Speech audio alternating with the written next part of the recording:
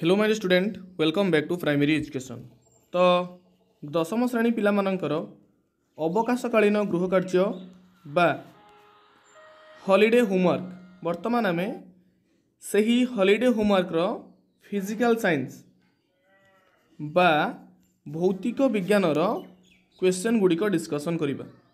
ୟା ଆଗରୁ ମୁଁ ଇଂଲିଶର ସମସ୍ତ କ୍ୱେଶ୍ଚନ୍ ଡିସ୍କସନ୍ କରିଦେଇଥିଲି ଯେଉଁ ପିଲାମାନେ ସେ ଭିଡ଼ିଓ ଦେଖିନାହ ଯାଇକି ଦେଖିନେବ ବର୍ତ୍ତମାନ ଆମେ ତୁମମାନଙ୍କର ଫିଜିକାଲ ସାଇନ୍ସର ଅବକାଶକାଳୀନ ଗୃହକାର୍ଯ୍ୟ ବା ହଲିଡ଼େ ହୋମୱାର୍କର କ୍ୱେଶ୍ଚନ୍ ଗୁଡ଼ିକ ଡିସ୍କସନ୍ କରିବା ତ ଯେଉଁ ପିଲାମାନେ ଆମ ଏଇ ଚ୍ୟାନେଲ୍ ପାଇଁ ନୂଆ ଥିବ ଚ୍ୟାନେଲ୍ଟିକୁ ସବସ୍କ୍ରାଇବ୍ କରିଦେବ ଆଉ ପାଖରେ ଥିବା ବେଲ୍ ଆଇକନ୍କୁ ପ୍ରେସ୍ କରିଦେବ ଯାହାଦେଇକି ସବୁ ଅପଡ଼େଟ୍ ତୁମମାନଙ୍କ ପାଖରେ ସର୍ବପ୍ରଥମେ ପହଞ୍ଚିଯିବ ଚାଲନ୍ତୁ ଆରମ୍ଭ କରିବା ସେକ୍ସନ୍ ଏର ଏମ୍ ସି କ୍ୟୁ ପ୍ରଶ୍ନ ରହିଛି କ୍ୱେଶ୍ଚନ୍ ନମ୍ବର ୱାନ୍ ପ୍ରତ୍ୟେକ ପ୍ରଶ୍ନର ଚାରୋଟି ବିକଳ୍ପ ଉତ୍ତର ଦିଆଯାଇଛି ସେଗୁଡ଼ିକ ମଧ୍ୟରୁ ଠିକ୍ ଉତ୍ତରକୁ ବାଛିକି ଲେଖ ତ ପ୍ରଶ୍ନ କ'ଣ ଅଛି ରାସାୟନିକ ପରିବର୍ତ୍ତନ ବେଳେ ନିର୍ମକ୍ତ ମଧ୍ୟରୁ କେଉଁଠି ଘଟି ନଥାଏ ତ ଅପସନ୍ ଦେଇଛି ରଙ୍ଗରେ ପରିବର୍ତ୍ତନ ଗ୍ୟାସ୍ର ନିର୍ଗମନ ତାପମାତ୍ରା ପରିବର୍ତ୍ତନ ସେମିତି ବସ୍ତୁତ୍ୱରେ ପରିବର୍ତ୍ତନ କୁହନ୍ତୁ ରାସାୟନିକ ପରିବର୍ତ୍ତନ ବେଳେ ଏହା ଭିତରୁ କେଉଁଟା ଘଟିନଥାଏ ତ ଏହା ଭିତରୁ କେଉଁଟା ଘଟିନଥାଏ ହଁ ବସ୍ତୁତ୍ୱରେ ପରିବର୍ତ୍ତନ ଘଟିନଥାଏ ଏଥିରେ ରଙ୍ଗର ପରିବର୍ତ୍ତନ ଘଟିଥାଏ ଗ୍ୟାସର ନିର୍ଗମନ ହୋଇଥାଏ ତାପମାତ୍ରାର ପରିବର୍ତ୍ତନ ଘଟିଥାଏ କିନ୍ତୁ ବସ୍ତୁତ୍ୱରେ ପରିବର୍ତ୍ତନ ଘଟିନଥାଏ ତ ସଠିକ୍ ଆନ୍ସର୍ ହୋଇଯିବ ଏକ ନମ୍ବରର କ'ଣ ନା ଡି ଅପସନ୍ ଡି ସେମିତି ସେକେଣ୍ଡ କ୍ୱେଶ୍ଚନ୍ ଦେଖିବା ଖାଦ୍ୟ ପଦାର୍ଥର ଜାରଣକୁ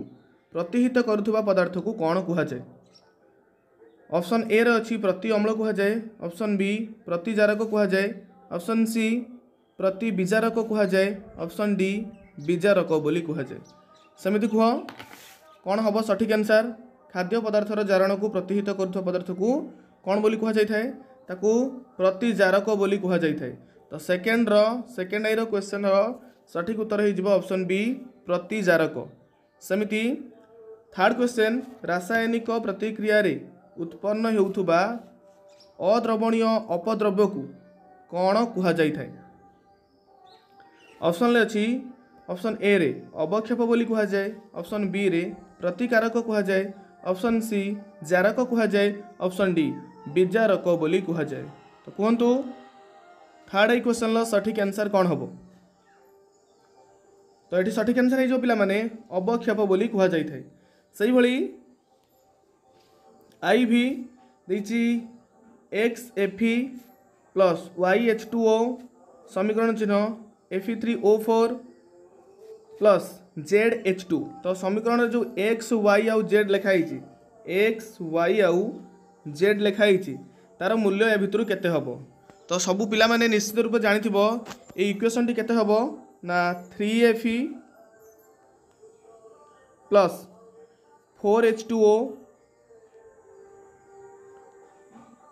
समीकरण चिन्ह F three O four plus four H two है तो देखि प्रथम एक्स जोड़ी अच्छी से कौन सी थ्री अच्छी तो प्रथम एक्स होते ना थ्री तापर वाई जगह के फोर अच्छी आ जेड जगह के फोर अच्छी तो थ्री फोर फोर एक्स हो थ्री वाई हूँ फोर जेड हूँ फोर जो अप्सन लिखे से करेक्ट आंसर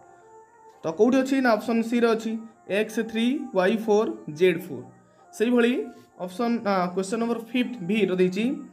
ଫେରସ୍ ସଲଫେଟ୍ ସ୍ଫଟିକକୁ ଉତ୍ତପ୍ତ କଲେ କେତୋଟି ଗ୍ୟାସୀୟ ପଦାର୍ଥ ସୃଷ୍ଟି ହୋଇଥାଏ ତ ପିଲାମାନେ ସେହି ଇକ୍ୱେସନ୍ଟି କ'ଣ ହେବ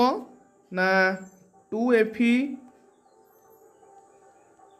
ଏସ୍ଓ ଫୋର୍ ହେଲା ଯାହାକୁ ପିଲାମାନେ କ'ଣ କୁହନ୍ତି ନା ଫେରସ୍ ସଲଫେଟ୍ ବୋଲି କହିଥାନ୍ତି ଟୁ ଏଫି ଏସ୍ଓ ଫୋର୍ ଯେ କି ସଲିଡ଼ ଅବସ୍ଥାରେ ଅଛି କଠିନ ଅବସ୍ଥାରେ ଏହାର ଯେତେବେଳେ ବିଘଟନ ଘଟିବ ସେ କ'ଣ ଦେବ ଏଫି ଟୁ ଓ ଥ୍ରୀ ହେଲା ତ ଇଏ ହେଉଛି ସଲିଡ଼ ୟା ନାଁ ହେଉଛି କ'ଣ ପିଲାମାନେ ନା ferric oxide ଏଫି two ଏଫି two O three କ'ଣ କୁହନ୍ତି ferric oxide plus SO two sulphur dioxide जे gas plus SO three sulphur trioxide जे भी ଗ୍ୟାସ୍ ତ କହିଛି ଏଥିରେ କେତୋଟି ଗ୍ୟାସ୍ ଉତ୍ପନ୍ନ ହୋଇଥାଏ କେତେଟା ଗ୍ୟାସ୍ ଅଛି ଗୋଟେ ହେଉଛି ସଲ୍ଫର ଡାଇଅକ୍ସାଇଡ୍ ଆଉ ଗୋଟେ ହେଉଛି ସଲ୍ଫର ଟ୍ରାଇଅକ୍ସାଇଡ୍ ତ ଦୁଇଟି ଗ୍ୟାସ୍ ଏଠି ଉତ୍ପନ୍ନ ହୋଇଥାଏ ତ ସଠିକ୍ ଆନ୍ସର୍ ହେଇଯିବ ବି ସେକ୍ସନ୍ ବି ଦେଖିବା ଦେଇଛି copper oxide plus hydrogen gas ଏଙ୍କ ଭିତରେ ରାସାୟନିକ ପ୍ରତିକ୍ରିୟା ଘଟି କପର ପ୍ଲସ୍ ଜଳ ବା ଏଚ୍ ଟୁ ଓ ଉତ୍ପନ୍ନ ହୋଇଛି ଦେଇଛି ରାସାୟନିକ ସମୀକରଣରେ କେଉଁ ପଦାର୍ଥଟି ଜାରିତ ଏବଂ କେଉଁ ପଦାର୍ଥଟି ବିଜାରିତ ହେଉଛି ଲେଖ ତ ଦେଖ ପିଲାମାନେ ଏଠାରେ ହେଉଛି କ'ଣ ନା ସି ୟୁ ଓ ବା କପର ଅକ୍ସାଇଡ଼ ଯିଏକି ଗୋଟେ ଅକ୍ସିଜେନ୍ ଏଠି ତ୍ୟାଗ କରିଦେଇଛି ଯେହେତୁ ଅକ୍ସିଜେନ୍ ଇଏ ତ୍ୟାଗ କରିଦେଲା ଅକ୍ସିଜେନ୍ ହରେଇଲା ଇଏ ହେଲା କ'ଣ ନା ବିଜାରଣ ଅନ୍ୟ ଅର୍ଥରେ ଏଠି ହାଇଡ୍ରୋଜେନ୍ ଥିଲା ଉତ୍ପାଦ ପାଖରେ ଆସିକି କ'ଣ ହେଲା ନା ଜଳ ହେଇଗଲା ଏଚ୍ ଟୁ ହେଇଗଲା ତେବେ ଏଇ ହାଇଡ୍ରୋଜେନ୍ ଗୋଟେ ଅକ୍ସିଜେନ୍ ଲାଭ କଲା ତ ଇଏ ହେଲା କ'ଣ ନା ଜାରଣ ପ୍ରଶ୍ନରେ ଅଛି ଏଙ୍କ ଭିତରେ କିଏ ଜାରିତ ହେଉଛି ଆଉ କିଏ ବିଜାରିତ ହେଉଛି ତ ପିଲାମାନେ ଏଠାରେ ଜାରିତ ହେଉଛି କିଏ ଏଚ୍ ଟୁ ଏଚ୍ ଟୁକୁ ଆମେ କ'ଣ ହେଉଛି କୁହନ୍ତି ନା ଜାରିତ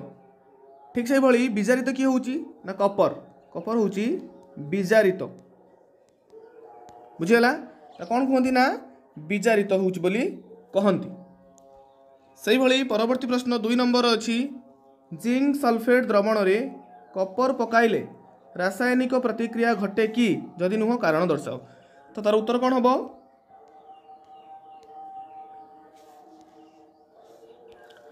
উত্তর হচ্ছে জিঙ্ক কপর সলফেট দ্রবণরে পকাইলে রাসায়নিক প্রতিক্রিয়া ঘটে না কারণ